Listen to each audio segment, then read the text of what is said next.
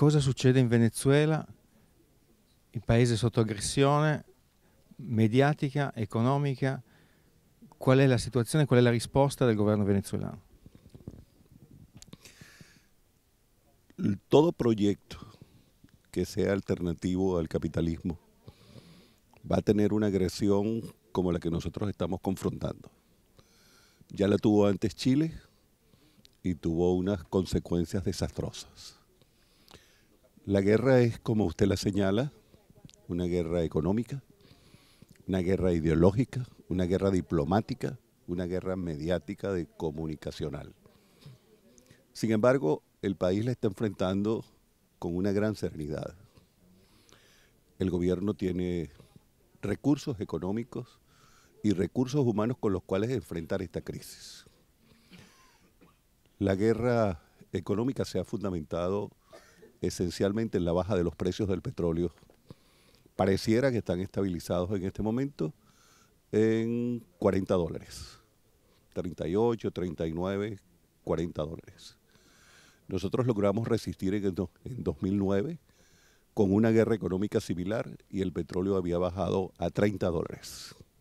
Estamos preparados incluso para resistir una situación a los 30 dólares.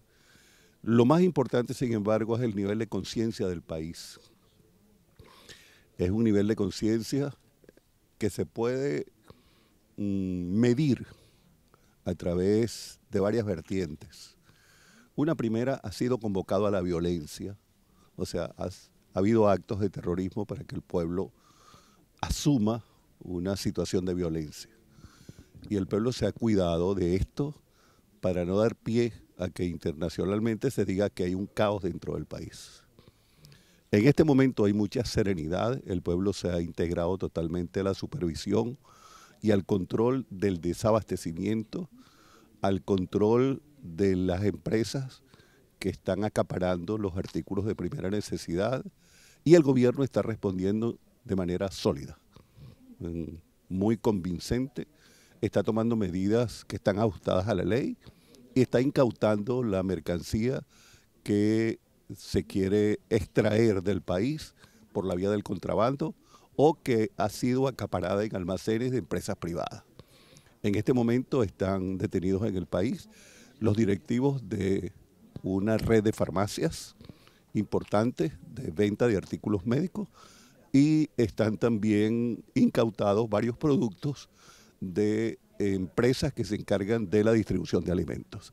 Hemos asumido desde el país, desde el gobierno, la distribución de los alimentos y el control conjuntamente con el pueblo y con, el, con la expresión cívico-militar que sostiene al país. Esta guerra que no es nueva y que no termina hoy, que no va a terminar por algunos cuantos días.